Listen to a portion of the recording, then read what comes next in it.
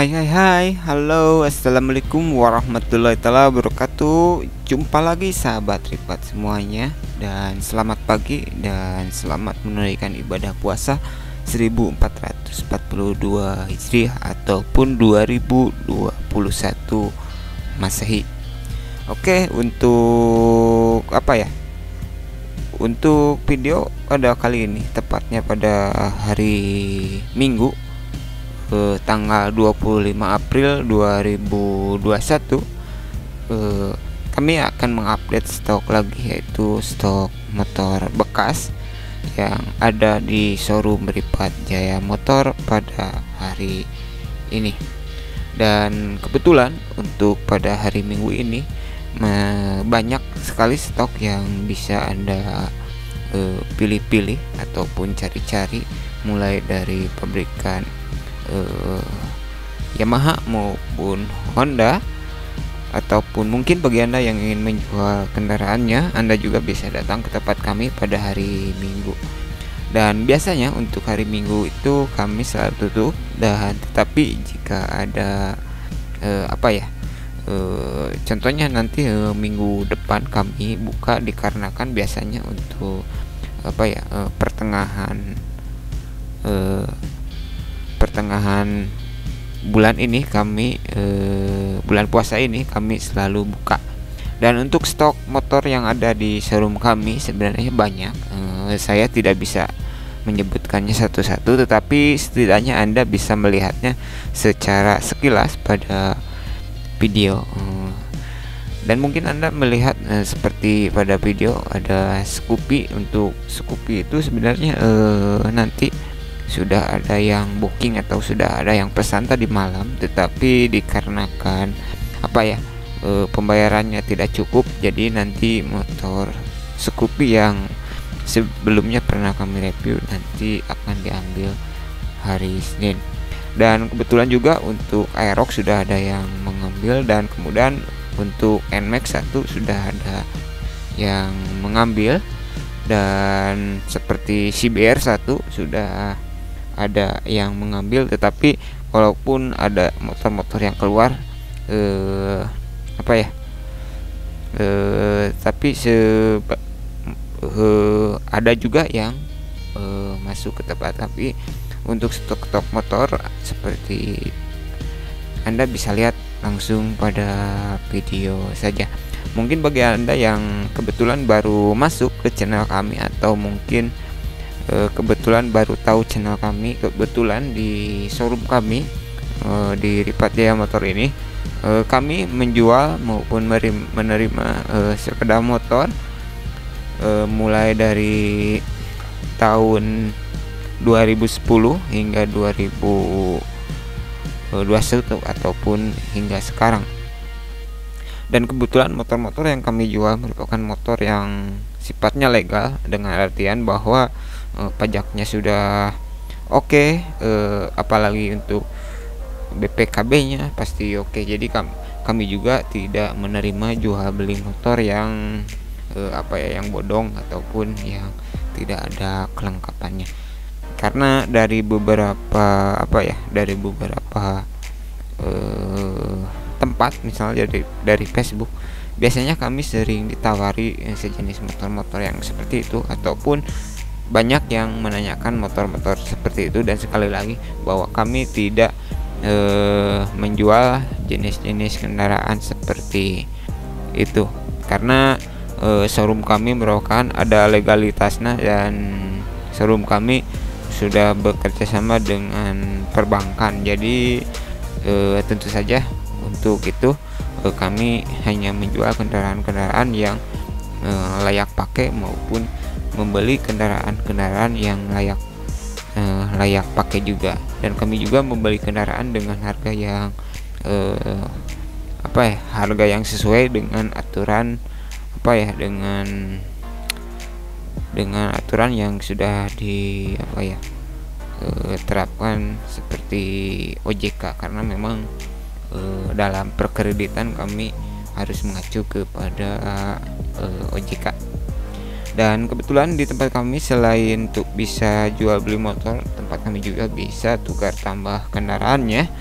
Eh, apabila anda ingin mengupgrade atau menukar kendaraan anda dengan kendaraan-kendaraan yang ada di showroom kami anda bisa langsung saja ke apa ya bisa langsung datang saja ke tempat kami jangan malu-malu untuk untuk melihatnya ataupun untuk e, melihat sekilas gambaran stok e, di yang ada di showroom kami Anda bisa melihat video ini. Tetapi insya Allah mudah-mudahan untuk setiap harinya kami akan mengupdate stok. Karena pada dasarnya khusus video ini kami tidak menjelaskan satu-satu e, apa ya harga harga dari motor tersebut. Karena dari beberapa komentar yang masuk eh, di apa ya eh, menyarankan untuk eh, untuk apa ya? Untuk menyebutkan dari harga masing-masing motor tersebut terutama yang dijual dari motor tersebut. Karena biasanya kami, kami hanya menjelaskan tentang eh, apa ya? Eh, seperti gimana ya? Eh, selalu menjelaskan harga bahwa harga yang kami jual itu merupakan harga rata-rata.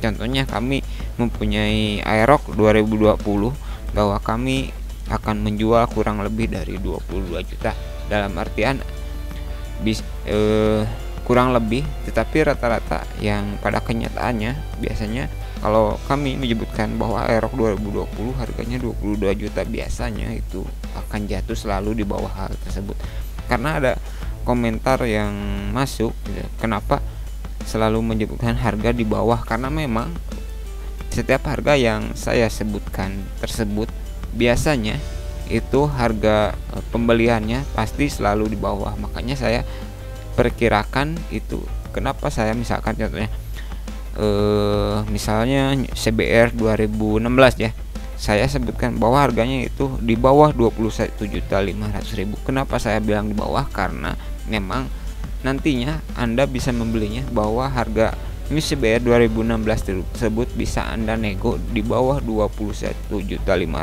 rupiah.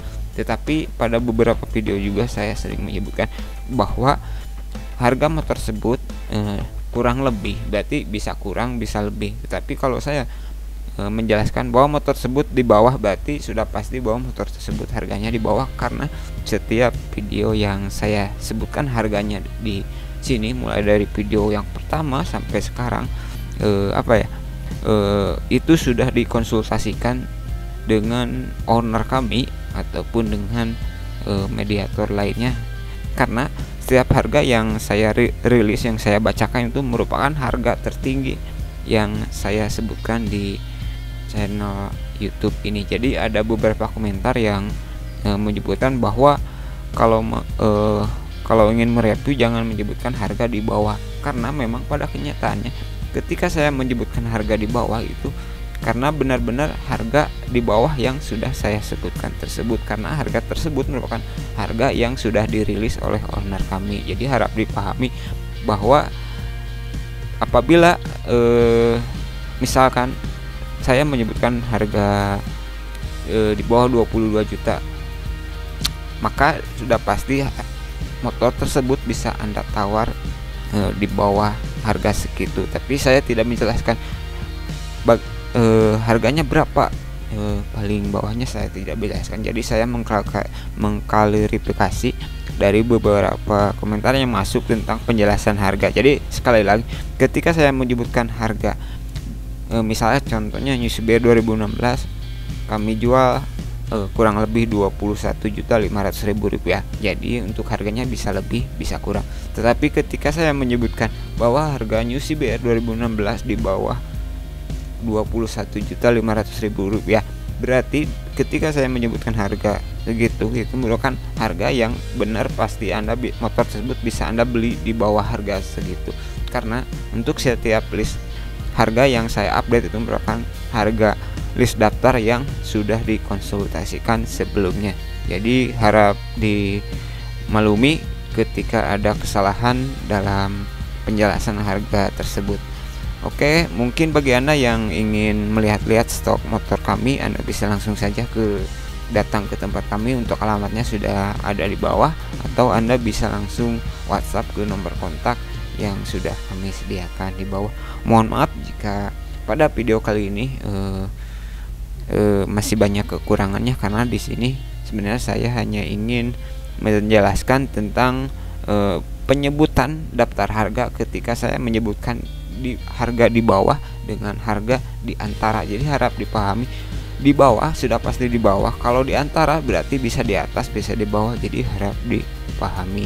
Jadi ketika saya menjelaskan daftar list harga itu jangan sampai menjadi salah paham karena daftar harga yang saya sebutkan bukan daftar harga yang saya rilis sendiri ataupun saya e, asal-asal sendiri karena setiap daftar yang saya sebutkan itu sudah saya tulis di skema ataupun di kertas yang sebelumnya sudah uh, kami konsultasikan. Oke, mu mungkin sekian terlebih dahulu apa yang bisa saya sampaikan.